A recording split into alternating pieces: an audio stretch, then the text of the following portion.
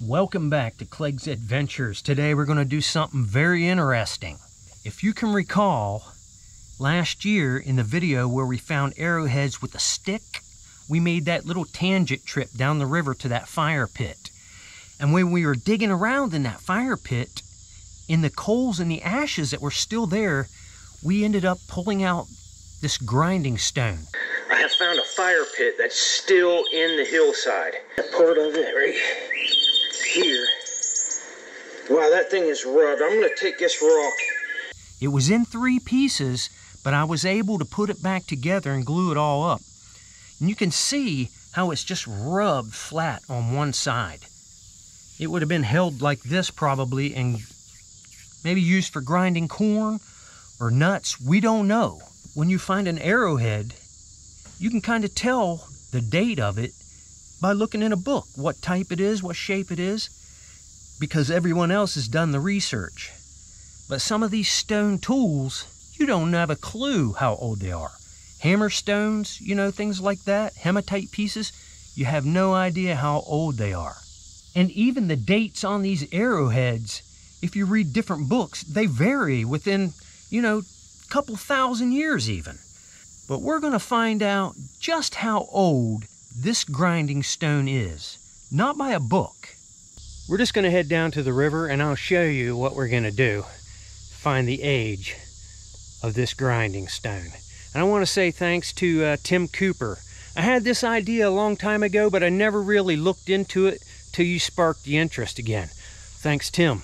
Let's head on down the river. I'll show you what we're doing. Wow, this place has really grown up.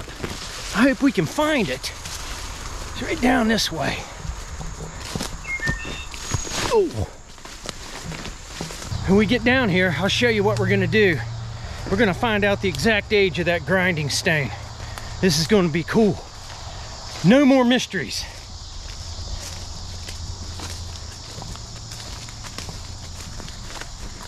Try and get down over this bank and I'll kill myself. Weeds everywhere. Whoa, whoa, whoa. I hope we can find that fire pit. It's right over here, been the hillside. And it's been since the last time, you know, over a year since I've been here.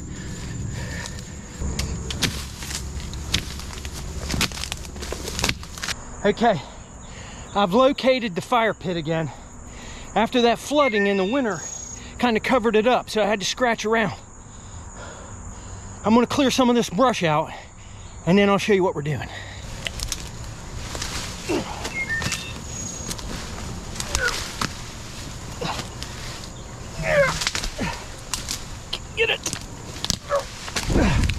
I'm having a hard time getting this tree out of here.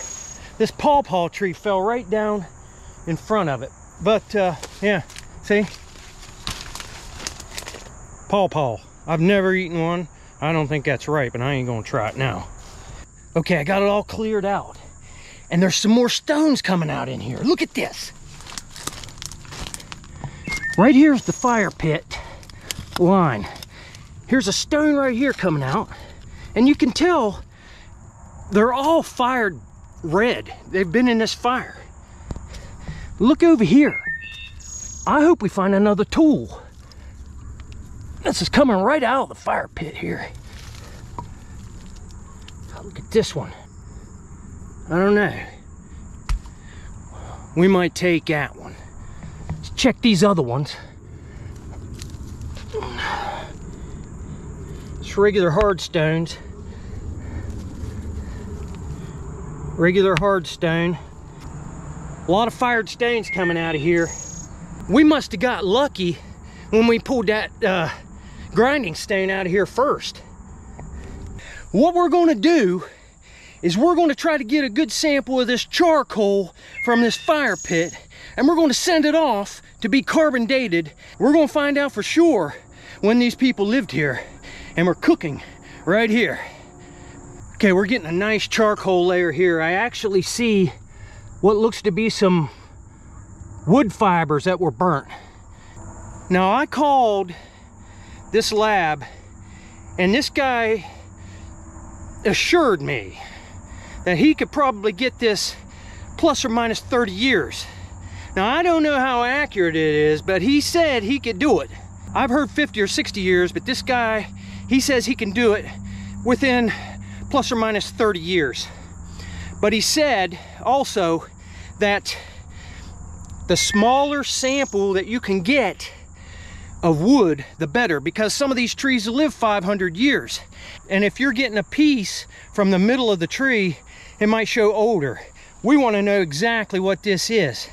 But the way I figure it, these guys, they didn't chop down no huge trees for firewood with no stone axes. They didn't have no chainsaws or anything like that.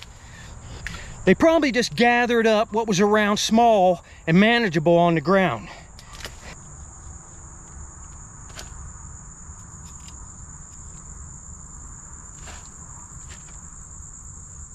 Okay, we got our sample here. We got a good bit of it. He said he didn't need that much, so many milligrams, I forget, but that's a good bit right there, more than enough. So the original surface was down here. That was before the river dams. Now the water's way up, as you can see. Water probably used to be way down in the middle. I mean, like, wow, they would have been just living just right in this area. Probably a little wigwam there. Fire pit might have been inside the wigwam. And we are right below the earthworks at Ben's Run. Arguably the largest ancient city in the United States. Maybe this grinding stone is older than the earthworks. The earthworks was probably around 500 BC to maybe 500 AD, around the year zero.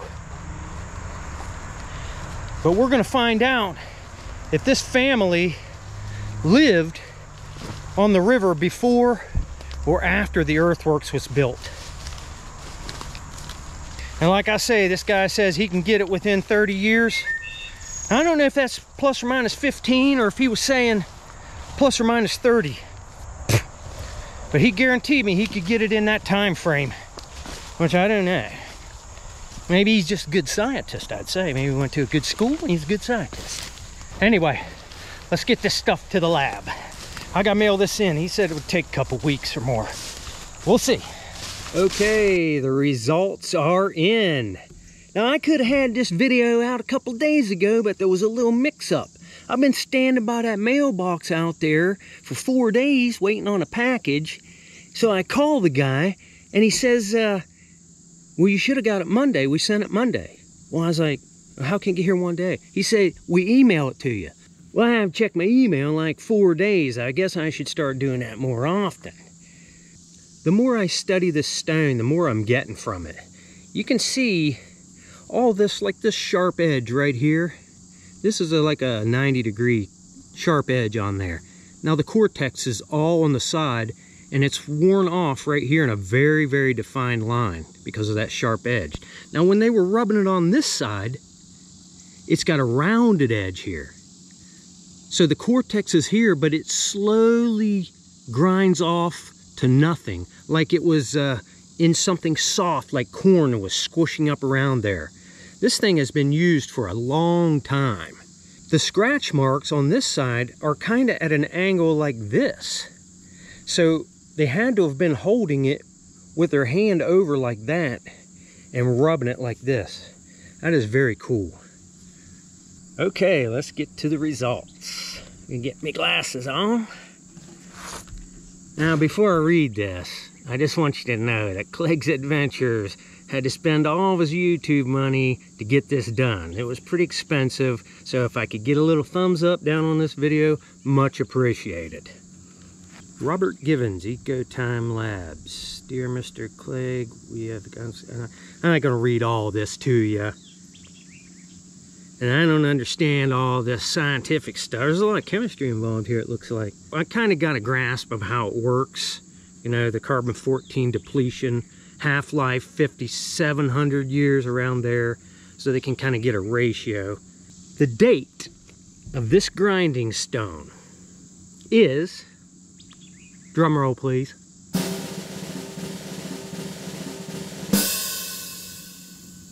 865 years old. Now, I don't know how accurate that is. Like I say, the guy said he could hit it within 30 years, plus or minus 15 or 30. I forgot to ask him. But that is just amazing that we know in the year 1157, somebody was grinding with this stone. And I'm going to say it was probably corn. You know, corn didn't come along until later on, maybe in the Mississippian times. I don't know if they had it in woodland period or not. If we ever find any other uh, tools that come out of that fire pit over the time, we'll know exactly how old they are. So that's kind of a reference date. Now, I don't know if we could use that whole uh, level below the surface here. I don't see why you could not. Anything that's found at that level, if you find it in the bank. Well, thanks for joining us on this one. I hope you enjoyed it. Something a little different. I never saw anybody do this before. We'll catch you on the next one.